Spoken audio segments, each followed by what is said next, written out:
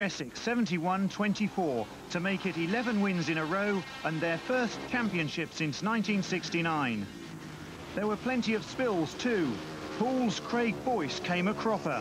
I um, sort of went past the corner a bit and Martin Goodwin got a bit of drive and come underneath me and T-boned me and I was off into the fence. Uh, having that, I knocked, me head a bit of a knock. I've got a bit of a headache now, but um, I should be all right. Two of the Essex riders were less fortunate. They needed treatment after heavy falls and were out of the match. Poole were far quicker than their opponents. They took maximum points from 10 of the 16 heats. The crowd of more than 4,000 played their part, cheering the Pirates all the way.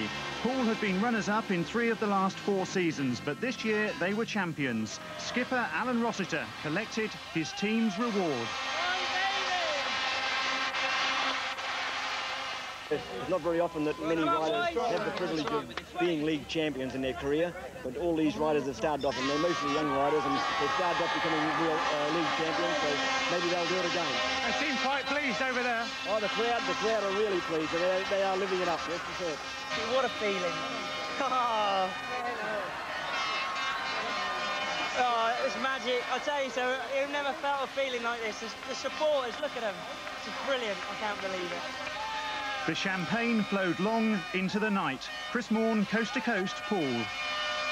Congratulations. Well, the happiest marriages tend to be ones League last night. They overwhelmed Arena Essex by 71 points to 24 to record their biggest win of the season and secure their first title since winning the British League back in 1969.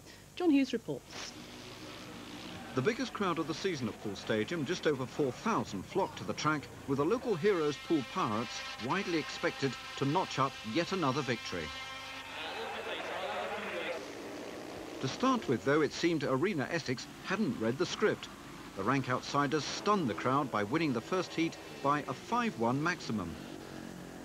But then the Pirates took over, showing just why they'd been unbeaten in their previous 10 meetings. Lee Adams, the Australian teenager, who's had a marvellous season, raced clear to win Heat 4 as Poole built up an eight-point lead. Then in the next heat, everything went wrong for Arena Essex. On the first bend, Wayne Garrett crashed, and after trackside treatment, he was taken away by ambulance. The race was rerun, only for the captain, Martin Goodwin, to be involved in a spectacular double spill. He too left in an ambulance and, like Garrett, took no further part in the match, although neither man was seriously injured. After that, it was Poole Pirates all the way. They won 14 of the 16 heats, with Adams riding to a 15-point maximum and his fellow Australian Craig Boyce collecting 13 points. Poole won the match by a massive 47-point margin, and that long overdue title was safely wrapped up with three meetings to spare. Well done then. Now with ever easy